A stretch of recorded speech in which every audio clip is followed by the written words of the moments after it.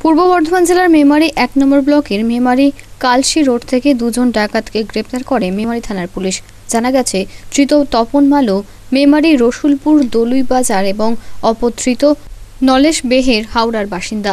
অভিযোগ, সোমবার রাতে কালশি মোড়ে তারা ডাকাতি করার জন্য দাঁড়িয়েছিল। পুলিশ গোপন সূত্রে খবর পেয়ে অভিযান চালিয়ে তাদের গ্রেপ্তার করে।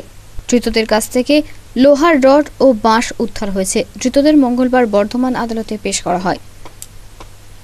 মেমারি থেকে শামীম শেখের রিপোর্ট, আনন্দ বার্তা।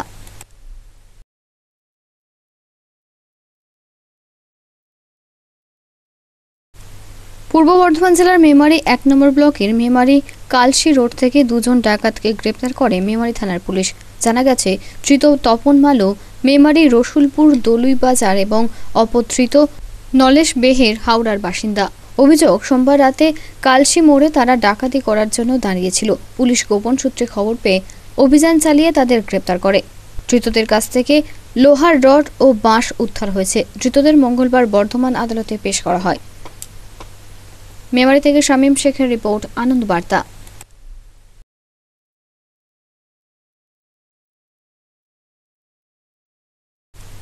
পূর্ব বর্ধমান জেলার মেমারি এক নম্বর ব্লকের মেমারি কালশি রোড থেকে দুজন ডাকাতকে গ্রেপ্তার করে মেমারি থানার পুলিশ। জানা গেছে, ধৃত তপন মালো মেমারি রসুলপুর দলুই বাজার এবং অপধৃত নলেশ বেহের হাওড়ার বাসিন্দা।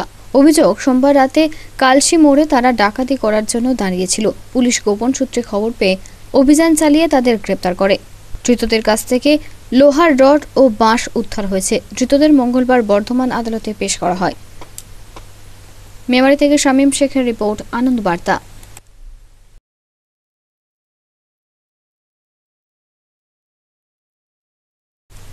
পূর্ব বর্ধমান জেলার মেমারি এক নম্বর ব্লকের মেমারি কালশি রোড থেকে দুজন ডাকাতকে গ্রেপ্তার করে মেমারি থানার পুলিশ।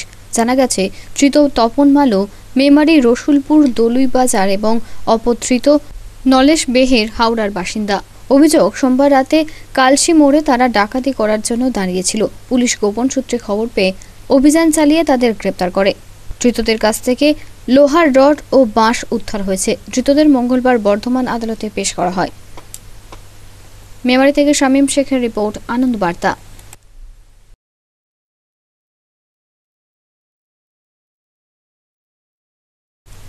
পূর্ব বর্ধমান জেলার মেমারি এক নম্বর ব্লকের মেমারি কালশি রোড থেকে দুজন ডাকাতকে গ্রেপ্তার করে মেমারি থানার পুলিশ।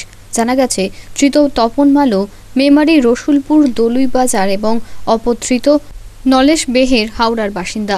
অভিযোগ, সোমবার রাতে কালশি মোড়ে তারা ডাকাতি করার জন্য দাঁড়িয়েছিল। পুলিশ গোপন সূত্রে খবর পেয়ে অভিযান চালিয়ে তাদের গ্রেপ্তার করে। ধৃতদের কাছ থেকে লোহার রড ও বাঁশ উদ্ধার হয়েছে। ধৃতদের মঙ্গলবার বর্ধমান আদালতে পেশ করা হয়। মেমারি থেকে শামীম শেখের রিপোর্ট আনন্দ বার্তা